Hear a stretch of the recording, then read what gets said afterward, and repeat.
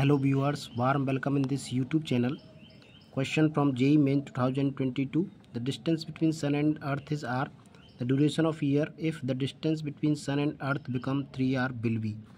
So student, here it is Sun and this is Earth and it is revolving around the Sun at a distance of R. So we know by using Kepler's law that t square directly proportional to r cube. From here t1 upon t2 equal to r1 upon r2 whole cube. T1 upon t2 whole square equal to r1 upon r2 whole cube. Now this distance become 3r so putting the values here r1 is r.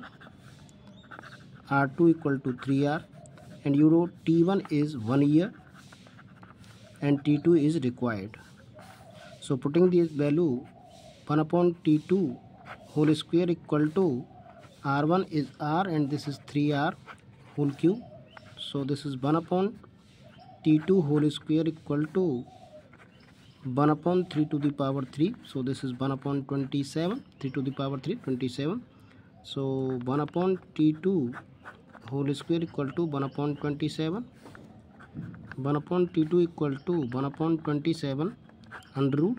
So this is 1 upon 3 root 3 on reversing t2 equal to 3 root 3 here is the correct answer of this question which is found in option D. Therefore, option D is correct. I hope you got it. Please like the video, subscribe the channel. Thanks for watching.